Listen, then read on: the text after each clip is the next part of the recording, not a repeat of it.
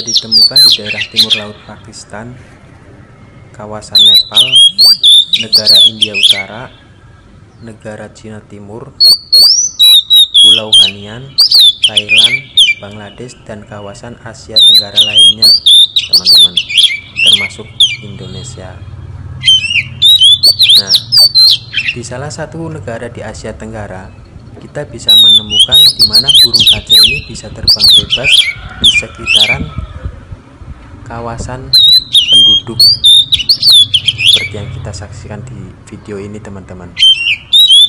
Jadi mungkin layaknya burung gereja kalau di Indonesia. Kita bisa menemukan burung gereja di setiap genteng rumah.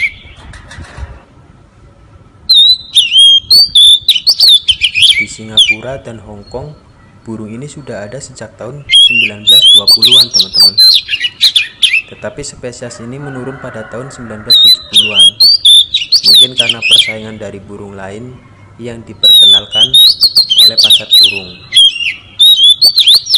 Bisa juga perburuan untuk perdagangan atau untuk peliharaan. Nah di video ini selain teman-teman bisa nambah pengetahuan dan nambah wawasan teman-teman juga bisa memanfaatkan suara dari video ini untuk pancingan kacer teman-teman di rumah. Barangkali teman-teman punya kacer yang lagi macet atau kacer muda yang baru belajar bunyi silahkan gunakan suara dari video ini untuk pancingan teman-teman.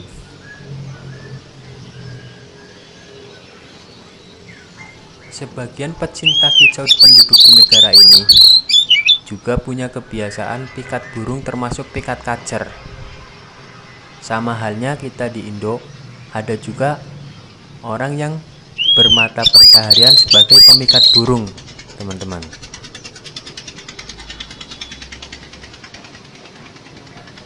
Dengan bermodal kandang pikat sederhana pemikat burung di sini bisa mendapatkan puluhan burung hanya dengan hitungan jam teman-teman.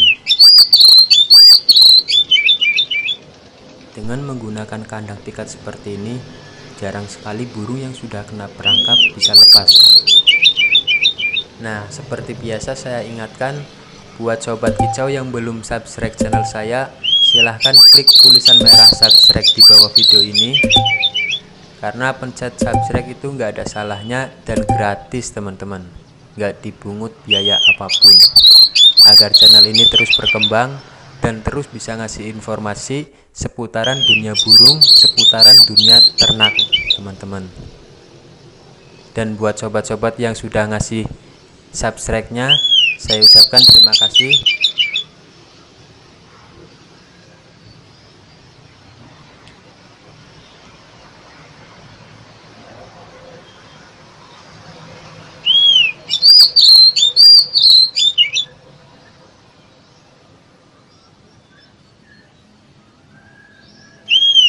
Thank